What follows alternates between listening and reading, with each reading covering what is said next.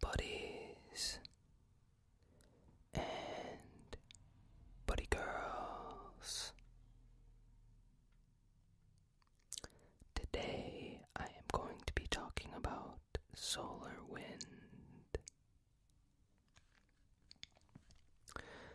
Yes, it's another space themed video.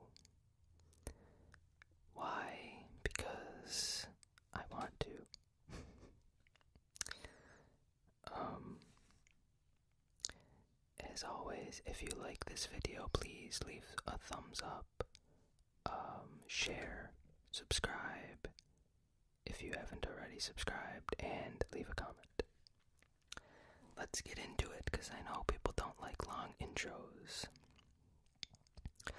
The solar wind streams plasma and particles from the sun out into space.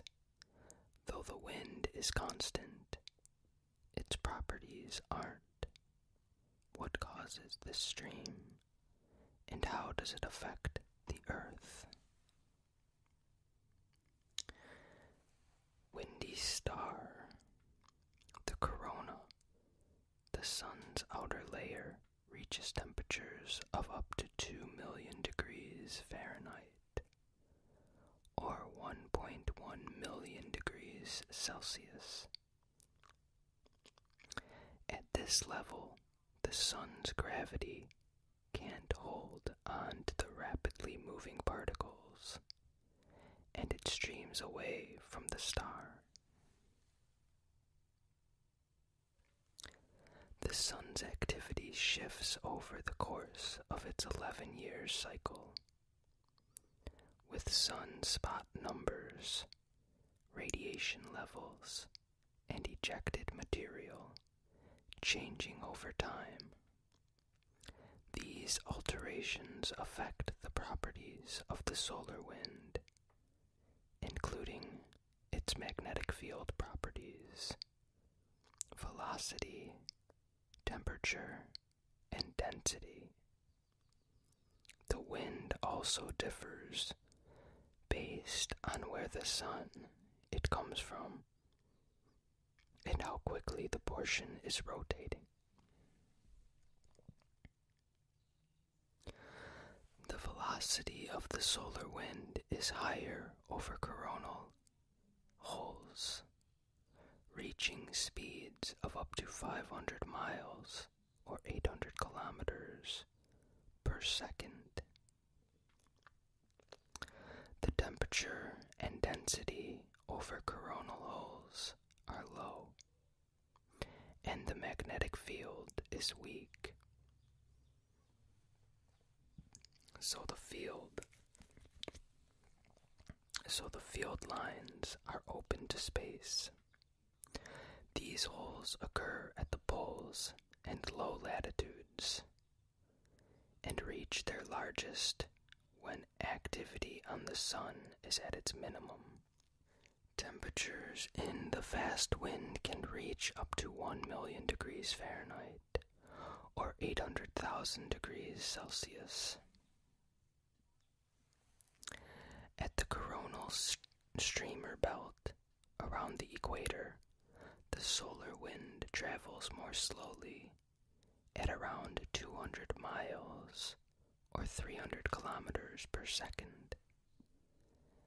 Temperatures in the slow wind reach up to 2.9 million degrees Fahrenheit or 1.6 million degrees Celsius.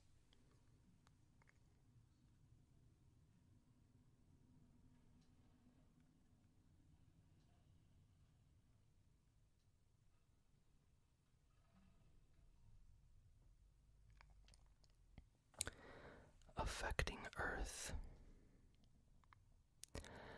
As the wind travels off the sun, it carries charged particles and magnetic clouds emitted in all directions. Some of the solar wind is constantly buffeting our planet with interesting effects.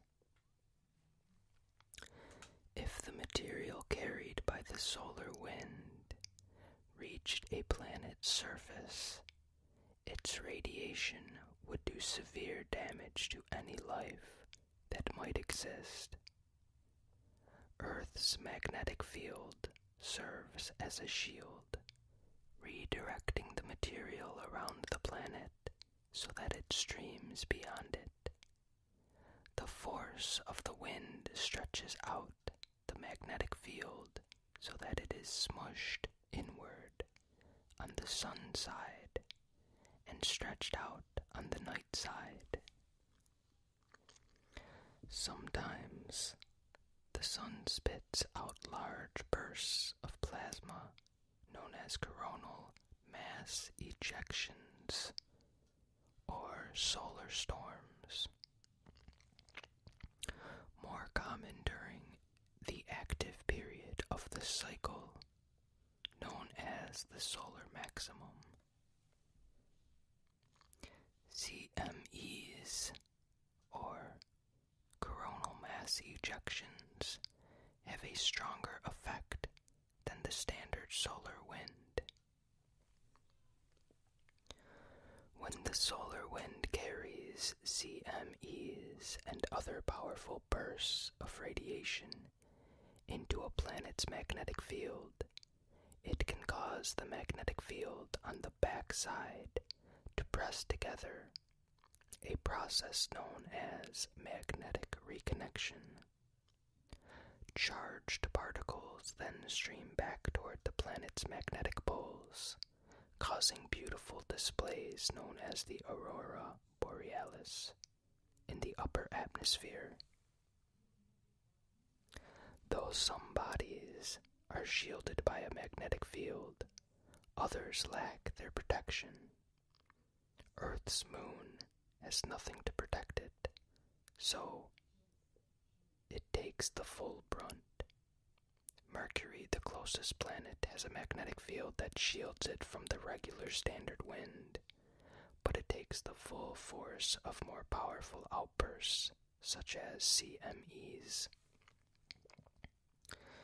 When the high and low speed streams interact with one another, they create dense regions known as co rotating interactions or interaction regions.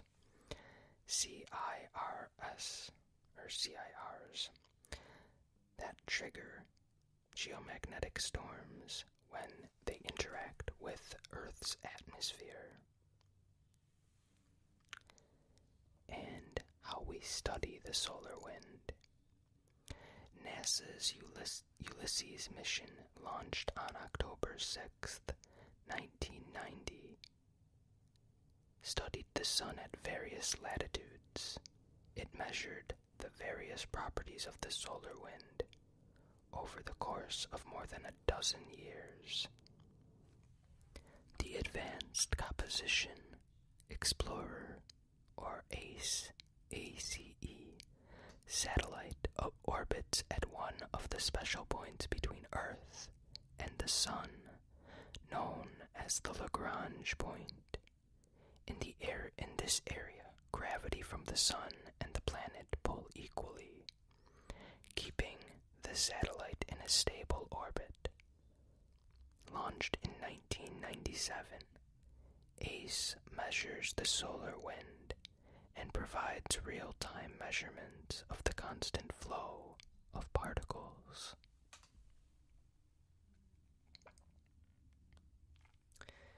And that is all I have for today's solar wind video. Um, I hope you enjoyed this video. I know that uh, sometimes different videos, but I just was in the mood for space themed ones, so um, that's what I wanted to do. Anyways, I will see you again soon. I'm still kind of busy, so that's why the videos have been a little short and no gameplay, but don't worry, I will eventually get back to gameplay, and the length of the videos will go back up again. Uh, just give me some time and stick with me. I will see you again on Friday for Facts Friday. I hope that you will come back and check it out. I'm not sure what I'm doing yet, but hopefully